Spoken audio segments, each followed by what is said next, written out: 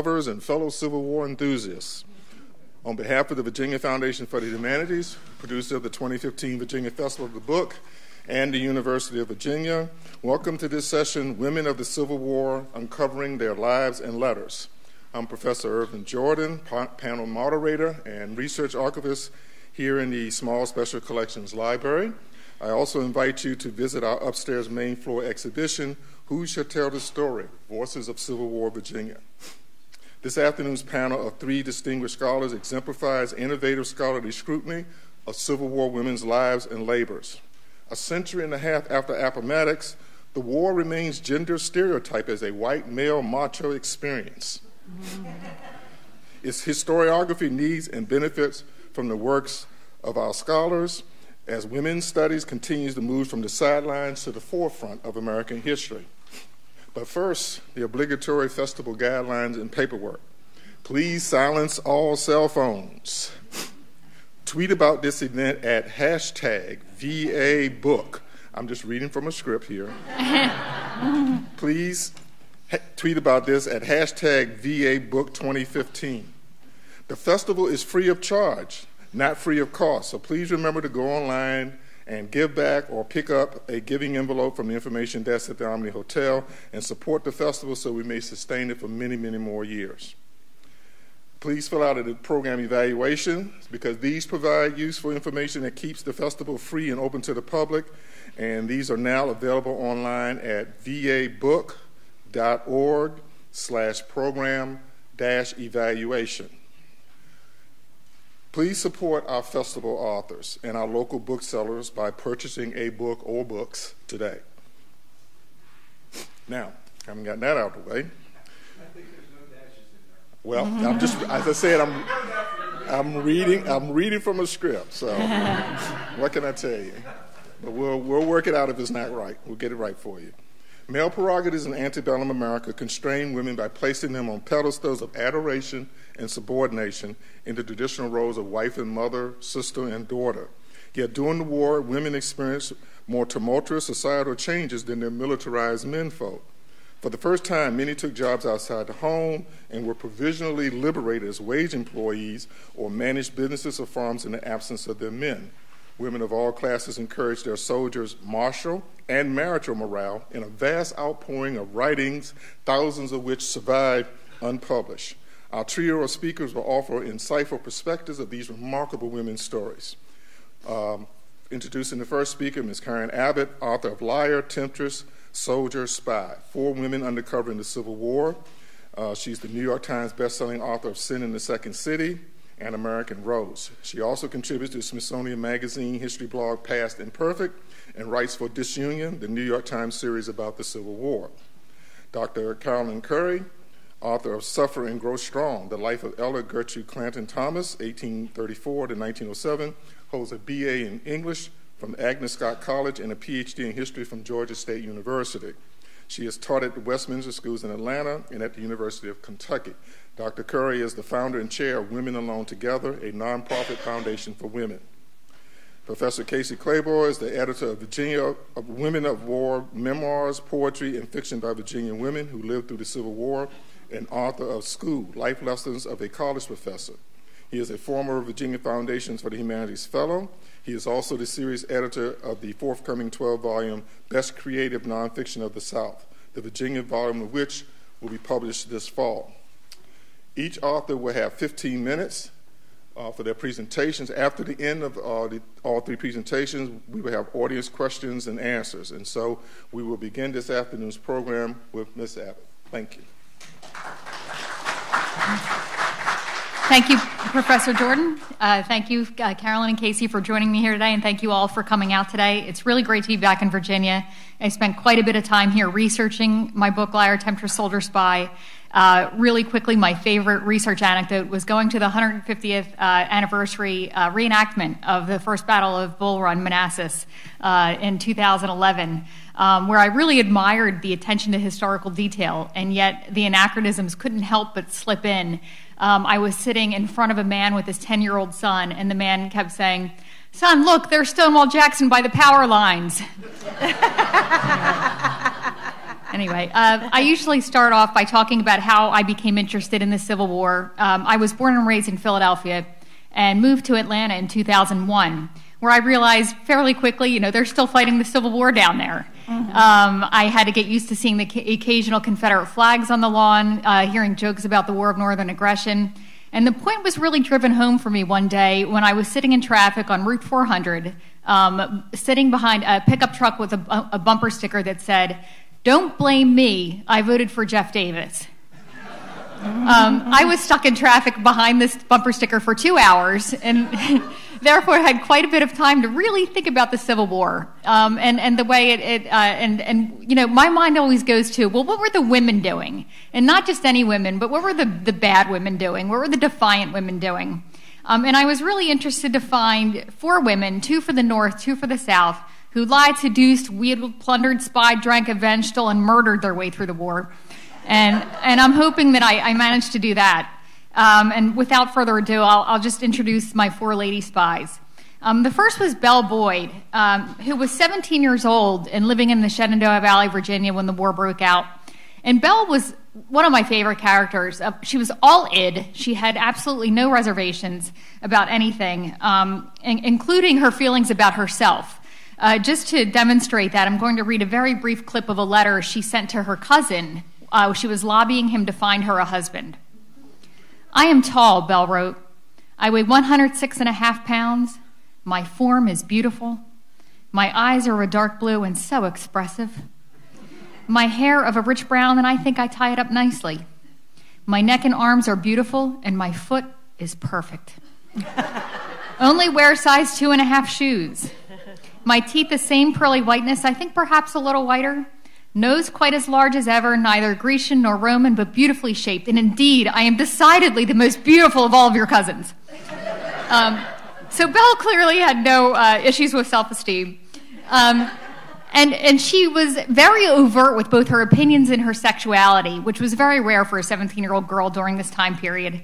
Um, I like to say that if uh, Sarah Palin and Miley Cyrus had a 19th century baby, it would have been Belle Boyd. So, so Belle kicks things off in 1861 in July. Um, Union forces had just won a small skirmish at, near the Shenandoah Valley, and they're marching up the valley, and they're planning on having a big Fourth of July celebration in her hometown of Martinsburg, Virginia. It's West Virginia today, but at the time it was still Virginia. Um, and they enter Martinsburg and they start ransacking homes and stealing liquor and causing all sorts of trouble. And a group of soldiers approach Belle's home, and one Union man threatens to raise a federal flag over her home. Belle, being the cool, and collected sort, decides to shoot this fellow dead. And she gets away with it. She claims self defense and gets away with it, and is really emboldened by the fact that she gets away with it.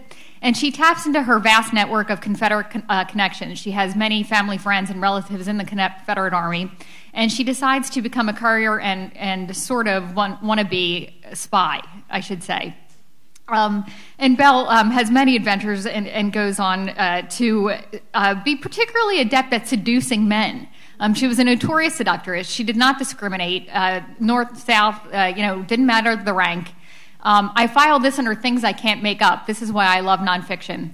One of her reported paramours was a man by the name of Major Dick Long. Um, I always feel like a 12 year old boy telling that joke. But she, uh, so men loved Belle, needless to say, um, but women did not like Belle very much. They had several nicknames for her. One of them was the fastest girl in Virginia, or anywhere else for that matter. Um, and she would go on to have several uh, great adventures during the war that I write about in the book. Uh, my second spy is uh, uh, Private Frank Thompson. Um, and Private Frank Thompson comes into the war with a bit of a secret. Private Frank Thompson was actually a woman named Emma Edmonds and had been living as a man for two years. Um, and Emma Edmonds had a really interesting background. She was born and raised in Canada and uh, was fleeing an abusive home situation. Her father decided he was going to marry her off to an, an elderly neighbor, a farmer, um, and her whole life was going to be dedicated to, you know, uh, tending this husband's farm. And she wanted no part of that. She was an adventurous sort. So one night she decided, she's about 18, 17 years old at this point, cuts her hair, binds her breasts, um, trades in her women's dress for a man's suit, and begins calling herself Frank Thompson. and she migrates to the United States, where she becomes an itinerant Bible salesman. And she begins hearing about the abolitionist John Brown and the drumbeat of events leading up to the Civil War, and decides she wants a piece of that. And so, in the spring of 1861, she's in Detroit, Michigan, and she enlists in the Union Army in the in the Second Michigan. And you might ask, well, how did she get away with it? How did she not only uh, pass the medical examination, um, but how did she fool all of her comrades? Um, and I should say that Emma was about one of an estimated 400 women who disguised themselves as men from North and South, um, who disguised themselves and fought in the war. Um, and I came to the conclusion that these women mostly got away with it because nobody knew what a woman would look like wearing pants. You know, people were so used to seeing women's bo- bodies pushed and pulled into exaggerated shapes with corsets and crinolines that the very idea of a woman wearing pants, um, let alone an entire army uniform, was so unfathomable uh, that even if she were standing in front of you, you, you might not realize it. So uh, Emma was quite adept at this, and she had been living as a man for two years, so she had the mannerisms all honed. Um, and so she had trouble on several fronts. You know, she was participating in some of the bloodiest battles of the war as a nurse and a courier, an occasional spy. Um, and she also had to worry about being discovered. She could be arrested, she could be charged with prostitution, and worst of all for Emma, she would be kicked out of the army, and she definitely didn't want that. So she goes along, and everything's going fine until a little wrench gets thrown into her path. Um, a very handsome wrench by the name of Jerome Robbins, uh, who was a fellow soldier with the 2nd Michigan and Emma unexpectedly falls in love with Jerome Robbins. Uh, and one of my greatest research uh, discoveries was Jerome Robbins' diary in Michigan, where he would say have entries that said things like, "There's something funny about my friend Frank Thompson. I can't quite put my finger on it, but a mystery seems to be connected with him." Uh, so, uh, you know, Emma has a decision to make. Does she keep everything to herself and sort of lay low and play it safe, or does she risk everything and tell Jerome who and what she really was and let the chips fall where they may? Um, and so I had a lot of fun chronicling their, their love story in the book. Uh, my third spy is Rose O'Neal Greenhow, uh, who might be familiar to some, some people in this room. Um, Rose uh, was another interesting woman. She was a, a Confederate woman living in the federal capital, Washington, D.C. And her whole life had fallen apart in the years leading up to the war. Uh, she had lost five children in four years, if you can imagine that. She lost her husband in a freak accident. And she had lost her access to the White House. Uh, she's somebody who had been friends with high ranking Democratic politicians for years leading up to the war. She'd even been an advisor with, uh, to President James Buchanan and lost all of this power and access when Lincoln and the Republicans uh, won and came into to power in D.C. And so Rose was desperate to get a, any piece of her old life back. So, in the spring of 1861, when a Confederate captain approached Rose and asked her to organize and run an espionage ring in, the, in Washington, D.C., uh, she jumped at the chance. Um, and she began cultivating sources. Uh, by cultivating, I mean seducing. Um, she was another notorious seductress. And one of her most important paramours was a man by the name of Senator Henry Wilson of Massachusetts, who was not only an abolitionist Republican, but Lincoln's chairman of the Committee on Military Affairs. Um, so you can imagine that they had uh, quite lucrative pillow talk, and Rose made great use of that. Um, and I had uh, great fun learning about her spycraft, just to give you a taste of that. Um, she did have a cipher that she labored over and memorized and, and, used whenever she could, including during the first Battle of Bull Run. Maybe I could talk about that later. Um, but she also memorized the Morse code. Um, and if the, there might be Confederate scouts who, at certain appointed times, were told to look at her windows, and she could raise and lower the blinds according to the dots and dashes of the Morse code. Um, she also sewed messages into in tapestry work in certain colors according to the Morse code. Um, so, so a lot of really crafty spy work on her part. My final spy, and one of my favorites also, is Elizabeth Van Lew who was sort of the opposite of Rose Greenhow. She was a Union spy living in the Confederate capital of Richmond, Virginia. And whereas Rose was outspoken and brazen and very bold, Elizabeth was really quiet and cautious and discreet. Um, and whereas Rose was this celebrated beauty, everybody always raved about Rose's beauty. Uh, Elizabeth, according to one of her contemporaries, uh, was, quote, never as pretty as her portrait showed. Rear! it was kind of poor Elizabeth. Um, but Elizabeth was a, a, brilliant, brilliant woman. She was born and raised in Richmond, so she was a, a, Southerner, and she was sent north to Philadelphia to be educated. And while she was there, came under care of an abolitionist governess. And when she returned to Richmond, she brought those ideals back with her. And she was quite horrified at the institution of slavery and, and decided she was going to do something about it. Um, and it was very dangerous. Well, I should say before the war, um, people just thought Elizabeth was an oddity, this sort of benign spinster. She never married. She lived with her mother in this mansion in Church Hill, most uh, uh, prestigious section of Richmond. Um, but after the war broke out, it was very dangerous for her to be known as an outspoken abolitionist, for her opinions to be out there. Um, she received death threats almost on a daily basis. Um, she was followed by Confederate detectives wherever she went. Um, but nevertheless, Elizabeth went through with her plans to organize a Union espionage ring in the Confederate capital of Richmond, and she began. Uh, she began uh, recruiting people from all walks of life for this. Uh, one of them was her brother, John Van Lew, and John Van Lew, I had the great pleasure of connecting with uh, descendants of John Van Lew. Uh, he had two daughters, and I spoke with the great grandson of one of these daughters, um, who gave me um, some, some information about her incredible espionage ring that had never been published before or spoken about for. And just to give you a brief taste of that, um, he used the family's hardware business in his espionage ring. Um, and he would take blank invoices and purchase orders and fill them out as if they were normal business documents. But every number he wrote down corresponded to certain military terminology. For example, 370 iron hinges might mean 3,700 cavalry. 30 anvils might mean 30 batteries of artillery, and so on. So if he was going through the lines and the rebel uh, sentries looked at his paperwork, they wouldn't see anything, but he'd be able to translate and give the Union authorities the proper information once he made it to northern lines. Um, but I have to say, Elizabeth's most uh, ingenious uh, coup in terms of her espionage ring was placing a former family slave in the Confederate White House as a spy. Um, after Elizabeth's father died, she freed all of the family slaves. The Van Lews did have slaves, and, and many of them stayed on to work with the Van Lews for pay after they were freed. Um, and there was one in particular that Elizabeth took a liking to. Her name was Mary Jane Bowser. So it was uh, fall or late in 1861 where uh, Varina Davis, the first lady of the Confederacy, Jefferson Davis is white, put out a call that she needed help. She was staffing the Confederate White House, she needed servants. So Elizabeth paid her a visit and said, I have a girl for you.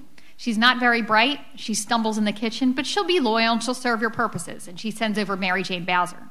Now, little does anybody know that Mary Jane Bowser is not only literate, but highly educated and gifted with a photographic memory. So while she's dusting Jefferson Davis's desk and putting the kids' toys away in the nursery, she's also sneaking peeks at the papers on his desk and eavesdropping on confidential conversations and reporting all of this back to Elizabeth. Um, and to make matters even more dangerous, John Van Lew was married to an ardent Confederate sympathizer, um, and they were all living in the same house in Richmond. This was going on all under this woman's nose, and she would not have hesitated to report even her husband um, if she suspected any of them for treasonous activity. Um, so that, that's it for me. but thank you.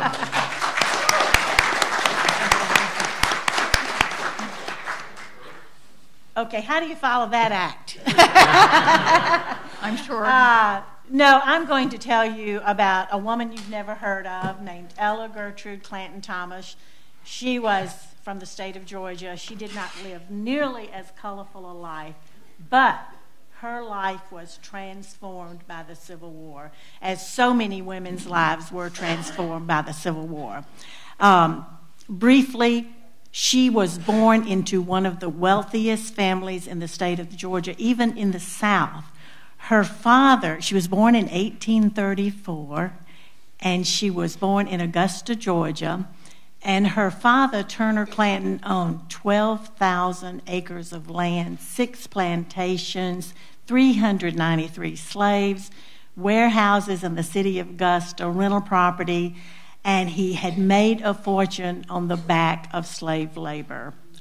Um, and made Augusta, Georgia, into the second largest inland cotton port in the world. Um, today, what do you think of Augusta, Georgia for? Golf. yes, all of that is gone. Um, but before the Civil War, Augusta was known as this very wealthy city. And in the state of Georgia, still today, you can hear somebody, if something good happens to you, somebody will say, Why, you must have cotton in Augusta. but uh, so it, it, still lingers that memory of how Augusta was such a rich uh, city before the war. But this young girl, uh, born in 1834 in this very wealthy family, had beautiful clothes, jewelry, uh, leisure, because she had these slaves waiting on her. And she took her life for granted because she was her father, whom she adored, condoned slavery. Uh, she talks about in her diary that she started keeping when she was 14 years old about going to hear Alexander Stephens, um, the congressman from Georgia, saying that slavery, the battle over slavery has been won by the South. It is the best institution for both black and white. And she buys into it um, and accepts it. But in this diary that she started keeping when she was 14 years old and kept for 41 years, if you can believe it, and if you've ever tried to keep a diary, that was difficult. Uh, but she um, was very honest in her diary and very straightforward. And many of the Civil War diaries that women wrote, such as Mary Boykin Chesnut, they knew their diaries were going to be published and they edited them for publication. But this woman thought her diary was being written for her children, and uh, she didn't think anybody would ever read it. And that's another thing that makes me happy that this woman that died uh, over 100 years ago, we are reading her diary and talking about it. A very valuable source. It is at Duke University. Um, in their archives, it is 13 volumes, 450,000 words. Um, so I took that diary, uh, a typed transcript of that diary, and pored over it literally for several years when I was doing my doctoral dissertation. This young lady not only had the advantage of the great wealth and leisure, she had a father in a time when most men thought women did not need education he recognized that his daughter was brilliant. And he decided to send her to the new college for women in Macon, Georgia, called Wesleyan Female College, starting in 1836, and it is the oldest college for women in America.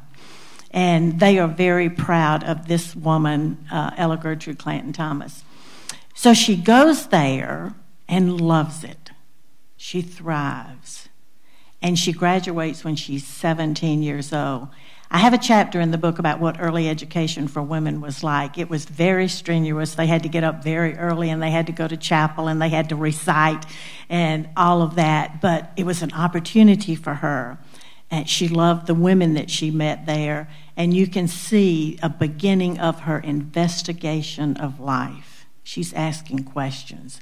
She wants to understand women's station and why the way the world is the way it is. Um, she graduates when she's only 17 years old, so it was something like an advanced prep school, but it was still better than most women had at that time.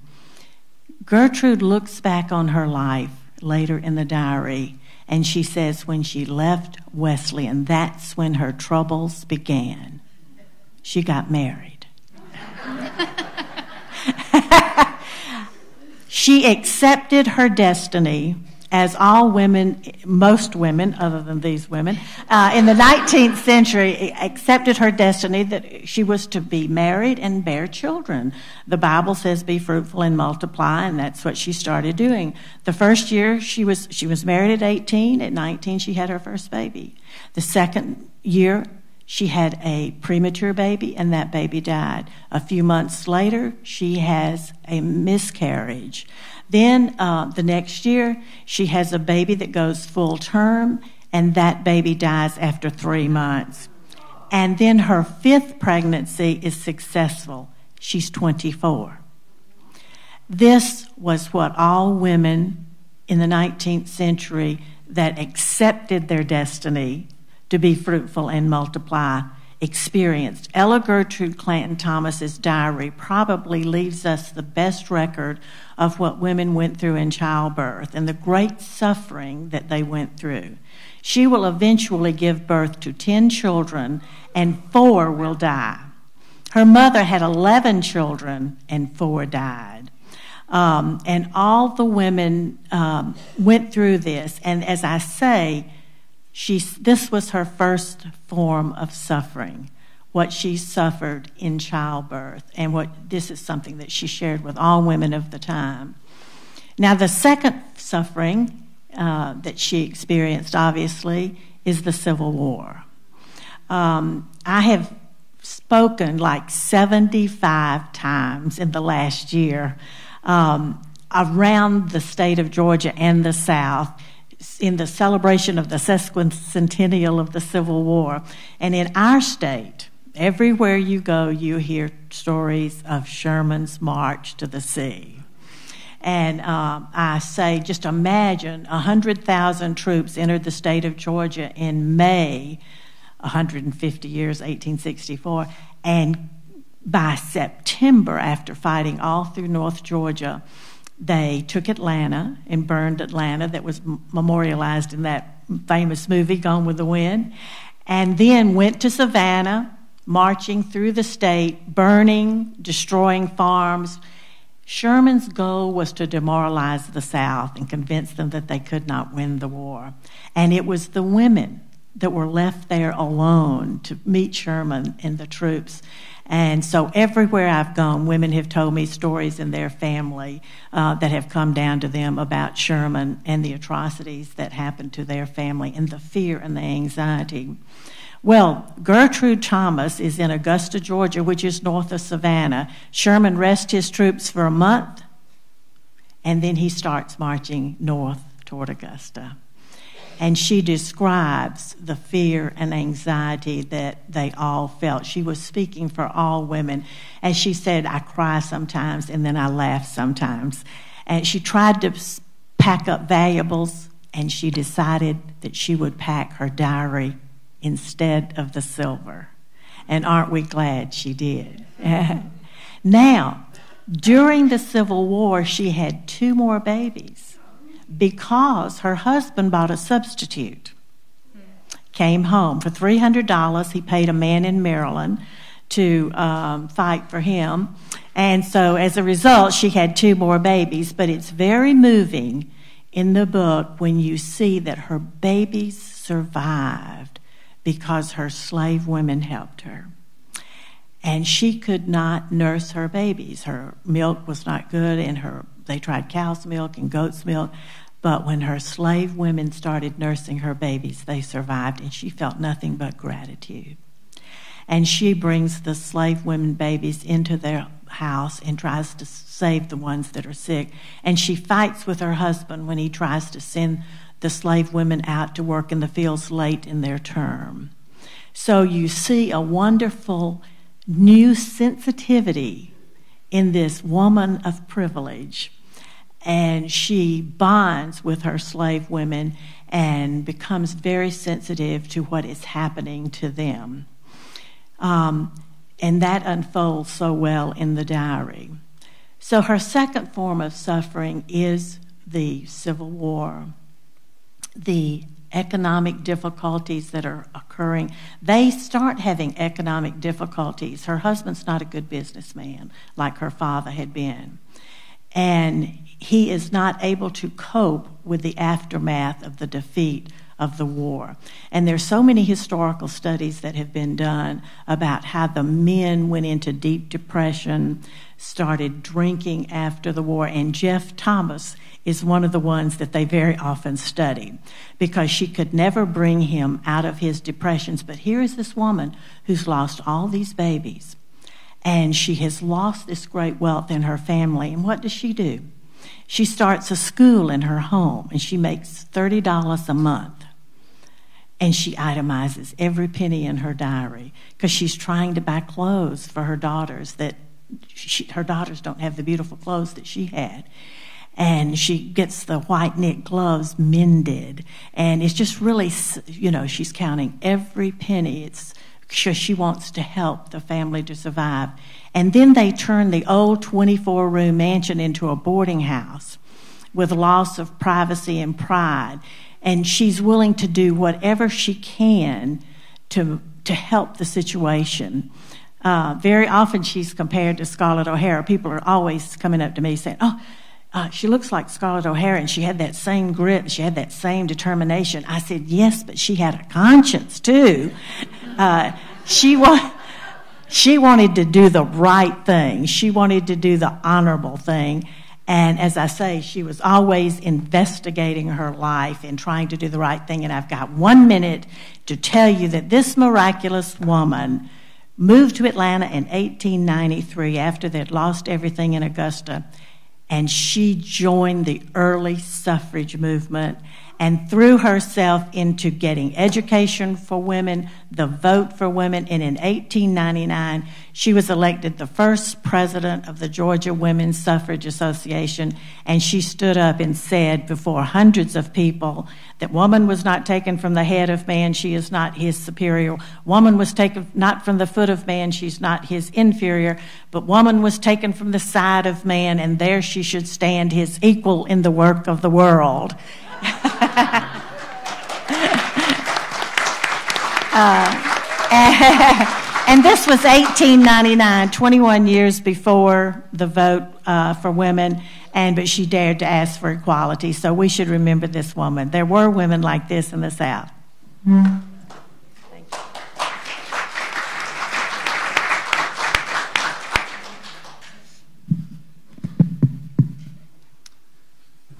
The germination uh, for this book, Women of War, Virginia Women, writing from Virginia women that, that lived through the Civil War, had its germination um, right here.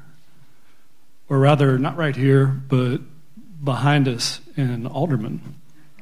So I, I, I thought I would start with that. Once upon a time, there was a young uh, Southern novelist, this was back in the 60s, who was on his way to Washington, D.C to do some research.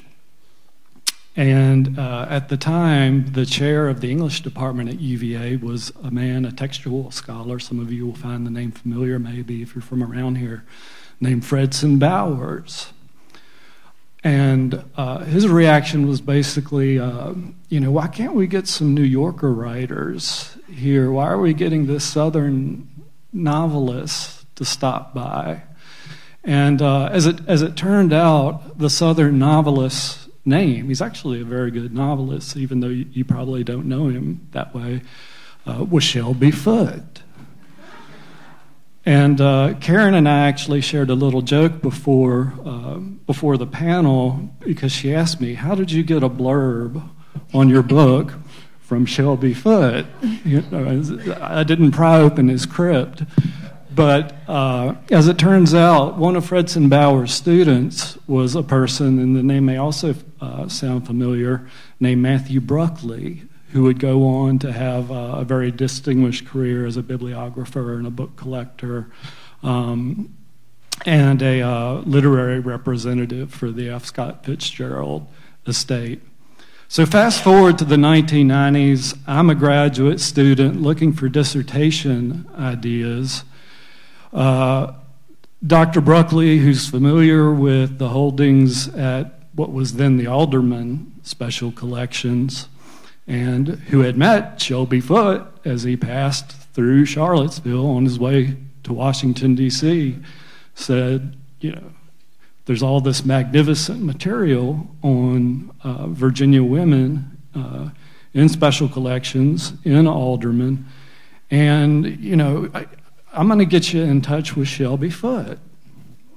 So, long story short, I began this project, and um, 12 books uh, later, I resumed it. So, I abandoned it at the time, went on, did my dissertation on, on something else, but decided to come back to it as a result of a novel I had written called uh, Confederados, or Confederado, which is about the Confederate migration to Brazil following uh, the Civil War. And one of the things that, that happened while I was promoting that book is I would go around to roundtables and, and Civil War societies and find that um, to bring up uh, Ervin's earlier remarks, it was predominantly, uh, you know, a male-dominated scene. There might be women there, but typically they'd been dragged there by their husbands, and um, so that that really kind of motivated me uh, and got me thinking. You know, there's this whole readership out there uh, that's interested in the Civil War, or at least being made to listen to people talk about the Civil War. And, um, you know, th- there's really not a lot of subject matter that's of interest uh, to them. You know, it's basically speeches about campaigns and generals and that sort of thing. So I decided to, to finish this research, to complete this book. And that, that's, the, that's the story of how Women of War came back. And being, uh, coming from uh, the English side of things, from the literary studies kind of things, in viewing these primary works as an editor, uh, there, were, there were a couple of factors that I had to deal with. One was that um, obviously I'm, I'm, I'm male, and uh, I'm, you know, I'm, I'm framing these female uh, narratives. So how, how, how do I go about that? And so I didn't feel confident enough to write, um, you know, to try to attempt a book like, like Karen's, where you're actually creating narratives uh, based on historical fact with these women. So I wanted it to be uh, their voices coming to the forefront. The other thing I did was get um, or ask a couple of contemporary Virginia writers to uh, write a foreword and epilogue for the book. And Carrie Holliday, who is a uh, novelist from Richmond, uh, wrote the uh, foreword. And Charlotte Matthews, who's a, a very talented uh, poet, uh, graduate of, of, the university graduate program, who lives in Crozet, wrote the afterword. And so I felt a little better about that after, after I got their reactions. They, they thought it was a good, a good thing to do, um, and also leaving it in the voices of, of the women uh, themselves. Now, having said that, the book is divided into, into three portions. It's divided in, into memoir, uh, poetry, and fiction. And I, I would say that um, the most interesting and, and probably the, the, the closest, um, the section that came, contains the most verisimilitude is the creative nonfiction portion. And sort of, sort of like Karen's topic, these are women that were simply writing their diaries, uh, recording what was happening on a daily basis, and essentially seeing their, seeing their state systematically um, taken apart. You know, Virginia often is, is mentioned, referenced as the, the, the, battlefield of the Civil War, at least as far as the Eastern Theater is concerned. Um, but then with that came a sort of agency, and, and also this kind of goes along with, with Carolyn's point about, um, you know, th- this woman eventually becoming a suffragist. Because you know who was who was doing the taxes? Who, who, or who was making the financial decisions? Who was suddenly having to um, deal with livestock. And you know who suddenly had agency to make all these decisions that they previously hadn't possessed? So it's kind of a paradox in a way that, where you have these virginia women who are who are suffering but uh, you know at the same time are privy to this, this, this kind of freedom that they've never experienced uh, before. And you can really feel that in the, in the memoir portions of the writing. I feel like the, the fiction and the poetry is more elegiac and more of that period in terms of being, um, you know, flowery, rhyming kinds of um, couplets. But I wanted to read a, a, a brief portion of a piece from a woman named uh, Mrs. Pryor. She was a woman of advantage. Her husband was a friend of, of um, or an officer under Robert E. Lee. And so the setting for this occurs at uh, Petersburg. So it's, it's uh, near, near the end of, of the war, and uh, it's, it's spring. It's, it's actually uh, around this time when, when she's writing this, 100 and, 150 years ago. And uh, being owning a farm in Appomattox myself, uh, I, I, think that uh, it's an appropriate place to read, considering that Appomattox is, is mentioned. So she's in, she's in camp. Um, she's living near camp, rather. General Lee has just returned from Richmond where he's been informed that the Army can't be supported. And so here's, here's her reaction to that. And General Lee has just allowed her husband to be exchanged. I was too much overcome to do more than stammer a few words of thanks. Lee said, What are you going to say when I tell you, the general, that in all this winter you have never once been to see me? Oh, General Lee, I answered, I had too much mercy to join in your buttermilk persecution. Persecution, he said, such things keep us alive. Last night, when I reached my headquarters, I found a card on my table with a hyacinth pinned to, to it, and these words, For General Lee, with a kiss. Now, he added, tapping his breast, I have here my hyacinth and my card, and I mean to find my kiss. He was amused by the earnest eyes, and he's actually talking to the woman's daughter, not the woman herself. He was amused by the earnest eyes of, of my little girl as she gazed into his face.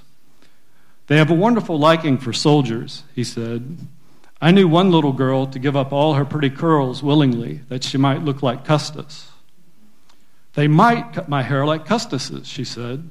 Custis, whose shaven head does not improve him in any eyes but hers. His manner was the perfection of repose and simplicity as he talked with me. I remembered having heard of his singular calmness, even at Gettysburg and at the explosion of the crater. He had evinced no agitation or dismay. I did not know then, as I do now, that nothing had ever approached the anguish of this moment. When he had come to say an encouraging and cheering word to me, after abandoning all hope of the success for, for the cause. After talking a while and sending a kind message to my husband, to greet him on his return. He rose, walked to the window, and looked over the fields, the fields through which, not many days afterward, would be dug into trenches.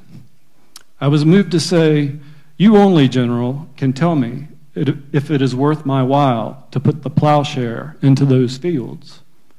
Plant your seeds, madam, he replied sadly, adding after a moment, The doing it will be some reward. I was answered. I thought then he had little hope, and I know now he had none. He had already, as we have seen, remonstrated against further resistance, against the useless shedding of blood. His protest had been unheeded. It remained for him now to gather his forces for endurance to the end.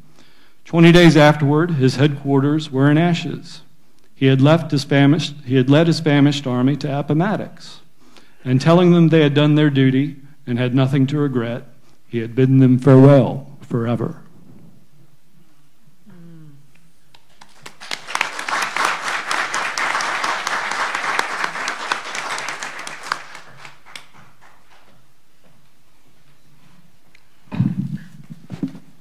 In September 1861, five months after, into the conflict, Mary Boykin Chesnut of South Carolina, one of the war's greatest diarists, wrote, Now the men praise the women unquote.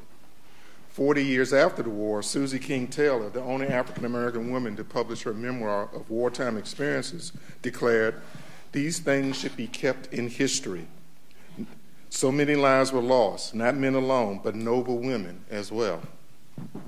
Throughout the national drama that ended the Civil War and redefined American democracy, women, Northern and Southern, black and white, slave and free, exerted powerful gender, racial, and regional influences on their families. Their families, their communities, and their foes recognized the multifaceted involvement. Their multifaceted involvement is having shaped the war's course in the, national, in the nation's destiny.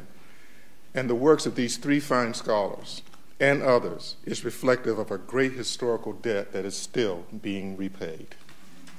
Thank you.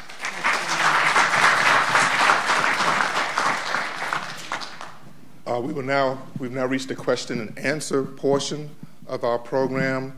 Um, when you're recognized, please state your name, your question, and again, reading the script, no speeches, please. state your name, question, and if you're addressing it to a particular author, please state that. Although we would prefer that you ask questions of all three of our authors. So the idea is that you ask the question. I think the authors will be able to hear you, so I don't need to repeat it. But uh, let's let's let's get on with the question and answer. This gentleman here.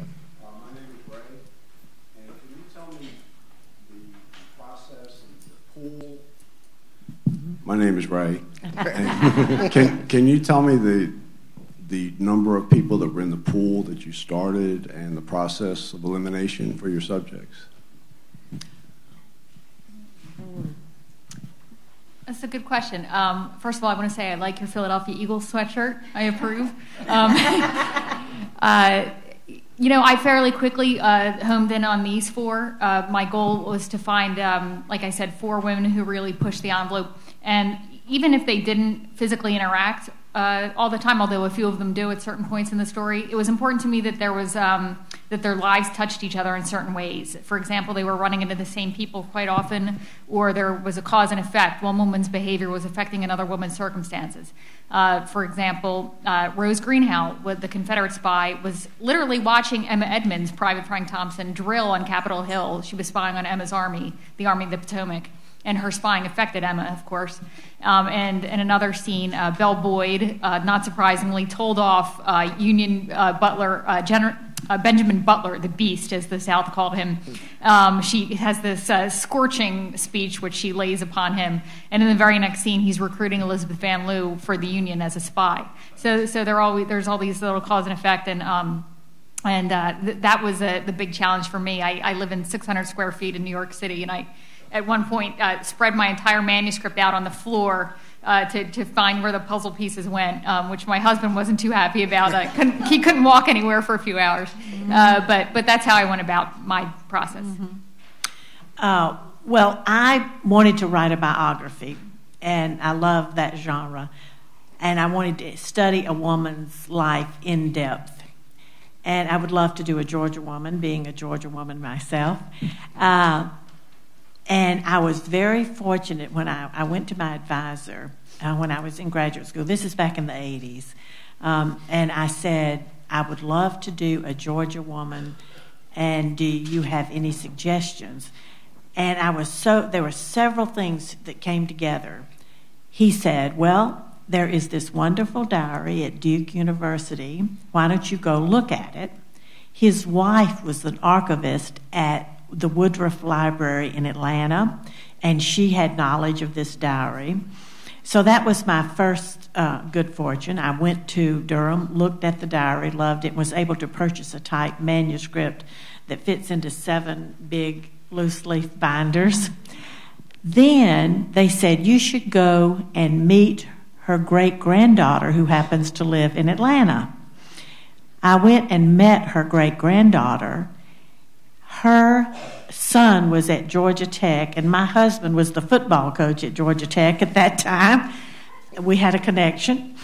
And then uh, her cousin was my seventh grade teacher, of all things. And uh, I worked real hard for my seventh grade teacher, and I was a good girl in that class. So I got good marks. And so she trusted me to tell her great grandmother's story and she sent home with me 15 scrapbooks that her great grandmother had kept after she quit keeping the 41 year diary. And in that scrapbook, those scrapbooks are newspaper clippings that she kept because it was something she was interested in, or she began to write every organization she belonged to, even before she moved to Atlanta, but when she started joining women's volunteer groups, um, church groups, the Women's Christian Temperance Union, and the suffrage movement later, she meticulously glued them in those scrapbooks. So I had another year or so of research in those scrapbooks, but uh, I was so fortunate. And then I had to do a lot of work in the court records. I didn't have time to tell you that there was litigation in the family uh, fighting over the wealth that was left in this enormously wealthy family. And her husband was so bad off financially that he started borrowing from the brothers and sisters that were more fortunate, his brothers and sisters, and her brothers and sisters. And when they could not pay the money back, their brothers and sisters sued them. And those court records, um, uh, she was mortified because it was written up in the newspaper, and she talks about this in the diary. And this is when she made the statement I wish I could. She was alienated from her family. And she said, I wish I could find some strong women, some women who had suffered and grown strong. And I say that she became that woman, and she also met those women. She met uh, Susan B. Anthony, Frances Willard, who founded the Women's Christian Temperance Union, Anna Howard Shaw, the first Methodist minister in our country, and a medical doctor and president of the National Suffrage Movement.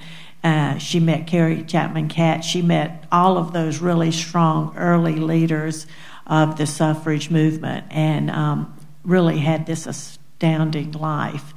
And uh, those three sources were available so that I could trace the spiritual and emotional development of somebody over 60 years and really see how her mind worked and how her she changed. That's a long answer to your question. But. I had a very clear set of parameters since I was gathering writing specifically by Virginia women. So um, from from the very beginning, uh, I, you know, I, I, had a set of of um, standards to, to stick to. Now, in terms of um, deciding what actually to use, it was a combination of geography. I wanted the, the Commonwealth represented, so I wanted experiences from, from the valley, uh, from uh, the peninsula of Norfolk, and uh, from this part of the state as well. And then I also had to kind of turn a, a, a cold editorial eye upon the manuscript as well and, and try to limit the amount of uh, floweriness in, in, the writing in favor of, of those pieces which, you know, it, it had the most artistic, if they didn't have the most artistic merit, they at least contained the most important um, historical knowledge and uh, generated the most authentic sense of um, feeling and passion that these, that these women were experiencing.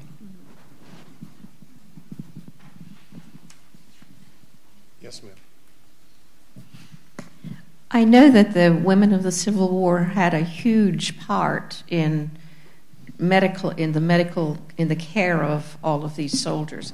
Can one of you or all of you can you speak to that? I know that probably they weren't even nurses, but they were caregivers. Mm-hmm. Um, actually, Emma Edmonds, aka Private Frank Thompson, was a nurse um, and served as a nurse on the battlefield uh, and um, and a courier as well. And and uh, her diary, well, her memoir, she wrote a memoir, um, is full of really uh, vivid uh, battlefield scenes in which she was rushing out and limbs were falling off. I mean, the piles of limbs that she had to sift through. Um, I mean, just you know, just really visceral, uh, disturbing imagery that she put in there, and, and not holding back about any of it and a couple times where she witnessed people shooting themselves so they didn't get you know suicide on the battlefield so they wouldn't um, you know they would rather do that than either get captured by the enemy or be shot by the enemy or, to, or I guess wounded mm-hmm. in a debilitating fashion. Um, there were people who, uh, you know, she witnessed men pretend they were wounded um, and she talked about that in disgust. She, you know, it was sort of great when she put on this air of bravado. Like, you know, she never admits in her memoir that she's a woman. She's very uh, cagey about her name and her gender. Um, but she, she, it, it, there are a couple times where she, um, she talks about people not being manly. Mm-hmm. Um, and on the battlefield, uh, so so it was really interesting to read her experiences and get a sort of um, uh, up close and personal view of, of somebody who was involved in the war in many capacities, and, and nurse, nurse being nurse being one of them. Uh, I will say that I, I, mentioned that Gertrude probably leaves us the best record of what women went through in childbirth in the 19th century, and in her diary, um, it's she talks about when she's a young girl they get ether and they're sniffing it and um, you know and giggling and all of that and playing with ether. This is before she starts having babies. But she talks about the first time that she has anything for pain and she has chloroform with one of her late, later babies. And so you begin to see a little bit at least women are having something for pain um, but you realize what they did not have. When these babies got sick and uh, today, our grandson got salmonella poisoning, if you can believe it, when he was 17 days old. And we rushed them to the emergency room and they pumped them through uh, with these antibiotics and they survived. But back then, those babies would get fevers and they would be dead in a day or two and they didn't know why. So you do have a stark understanding of what they did not have that we take for granted today. And uh, Gertrude did go and visit the hospitals. I think all the women just tried to do the volunteer things that they could. And there was a hospital in Augusta, and they would go and do the volunteer uh, work of reading to the men and trying to comfort them. And she describes the gory scenes that she saw, and then at night she would have nightmares. Uh, I, I, imagine that would be very, very difficult. Uh, there's a there's a nonfiction scene in, um, in my book in which a, a woman from Norfolk uh, goes to visit her husband, who's an officer posted in uh, Richmond and is dressed in, in all her finery. And as she's reaching uh, Richmond uh, from the east, uh, the Seven Days Battle breaks out. And so Richmond immediately becomes this kind of um, hospital place uh, for for the wounded, and uh, she immediately gets recruited into, um, or rather, volunteers to help. And so here's this woman with with no medical